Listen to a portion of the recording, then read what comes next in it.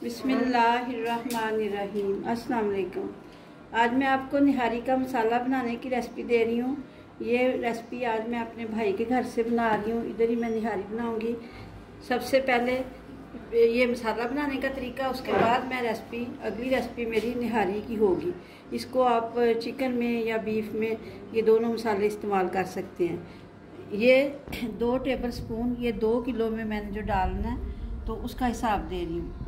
ये दो चम्मच मैंने सूखा धनिया लिया है, छोटी इलायची, ये छः सात अदद, ये पिपली, तीन अदद, जायफल और जावित्री, ये लिए हैं दोनों, और ये सौंफ, ये भी दो टेबल स्पून भर के।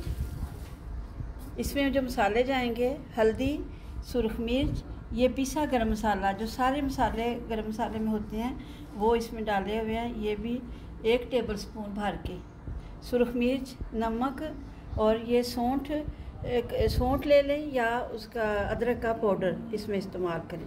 ये अदरक का पाउडर है, ये भी एक टेबल स्पून ये सारी चीज़ों को मिक्स करते हैं, इसका मसाला तैयार करते हैं।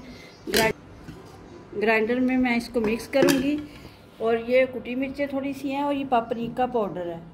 ये मैं एक दफ़ा फिर वजाहत कर दूँ तो अब इस मसाले को हम तैयार करेंगे।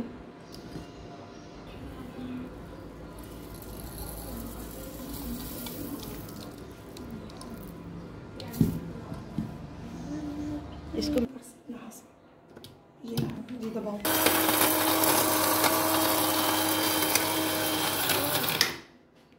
ये बाकी मसाले वो नीचे ग्राइंड कर दिए हैं इन दोनों को। इसको भी इसमें शामिल करने लगी तो फिर इनको एक दफ़ा फिर हिलाती हूँ। बाकी मसाले भी डाले तो अब ये इस तरह का मसाला तैयार हो गया। अब इस बाकी जो निहारी में हमने सुरख मिर्ची डालनी है वो हम एक्स्ट्रा डालेंगे। तो ये मसाला बना के रख लें आप घर में।